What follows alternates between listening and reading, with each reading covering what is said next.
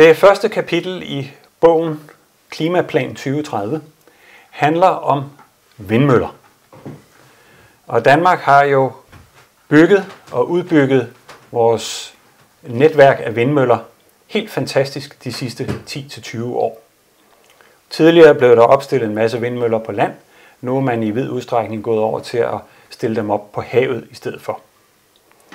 Og sidste år, 2019, der leverede vindmøllerne 47 procent af den samlede strøm i Danmark.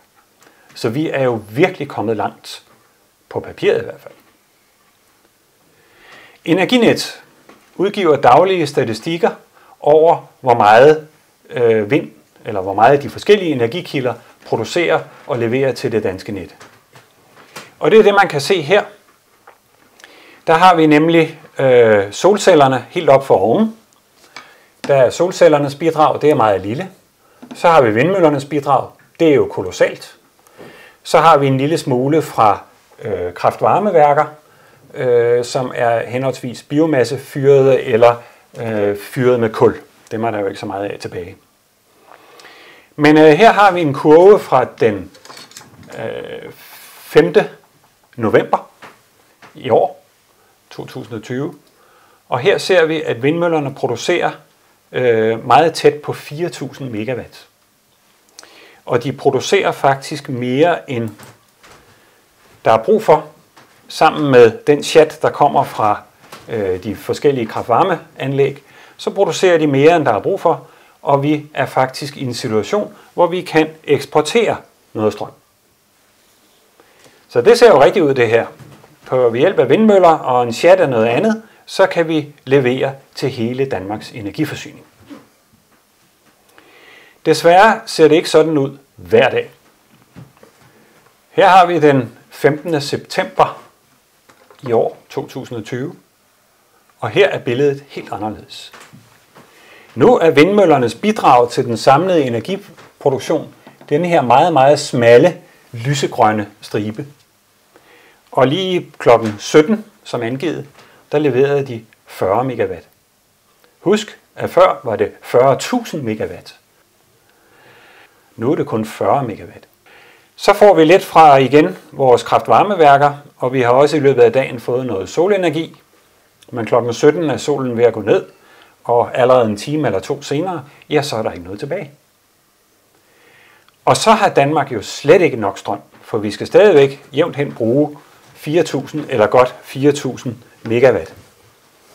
Og det vil sige, at i den her situation, og det har vi måttet gøre hele dagen den 15., der har vi måttet importere meget store mængder af strøm. Så situationen med vindmøllerne er jo altså den, at nogle gange producerer de meget, nogle gange producerer de mere, end der er brug for. Men rigtig mange andre gange, så producerer de mindre, end der er brug for, eller meget mindre, end der er brug for. Og det betyder jo, at selvom vi har installeret vindmøller nok til at dække hele Danmarks behov, vi har 6.000 megawatt øh, effekt i vindmøllerne installeret i Danmark, og det er mere end det forbrug, vi har faktisk hele døgnet. Men de producerer ikke de 6.000. De producerer kun halvdelen eller mindre end halvdelen. Og det vil sige, at der er en masse tidsrum, hvor de slet, slet ikke laver nok. Okay, siger vi så. Jamen, nu er vi jo koblet op til Sverige og til Norge og til Tyskland, og vi skal også kobles op til England og til Holland. Og der kan vi jo så få øh, den strøm, vi eventuelt mangler selv. De har jo også vindmøller, og når det ikke blæser her, jamen så blæser det nogle af de andre steder, og derfor kan vi jo sagtens klare os med vindmøller alligevel, hvis vi ser på hele Nordeuropa. Det kan vi heller ikke.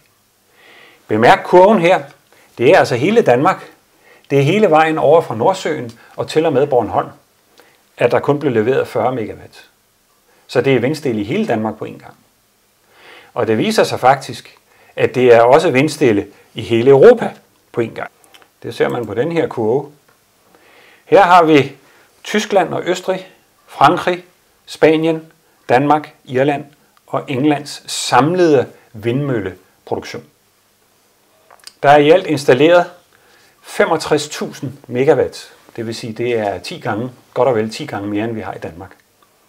Og alligevel kan man se her, Her har man så taget summen af alle deres bidrag, og man kan se, ja, en enkelt dag så det går meget godt ud, men mange af de andre dage leverer alle de her møller faktisk meget. Der er nogle meget store huller her. Man kan sige her for eksempel den 26. november, der producerede de noget, der ligner 5.000 øh, megawatt til sammen.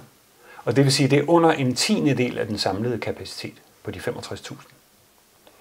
Og vi har endda nogle områder, hvor det er flere dage i træk, hvor der ikke kommer ret meget. Sådan er billedet, og sådan bliver det ved med at være, uanset hvor stor øh, et område vi kigger på. Derfor er konklusionen helt klart, at vindmøller kan aldrig stå alene som energiproduktion. De kan aldrig levere en stabil elforsyning til os. Der er kun to løsninger. Vi er nødt til at kombinere vindmøllerne med en af to ting. Enten skal vi kunne lære energien, så når vi producerer for meget, så kan vi stoppe den ind i batterier eller andre former for energilager, og så kan vi trække på dem, når det blæser lidt. Eller vi må have backup kapacitet. Det vil sige, at vi skal have kraftværker, der kører på kul eller olie eller gas eller biomasse, som til fulde kan levere hele det behov, der er for strøm. Og de skal være klar til med kort varsel at komme ind og levere, når vindmøllerne ikke kører, og de skal blive slukket igen, når vindmøllerne kører.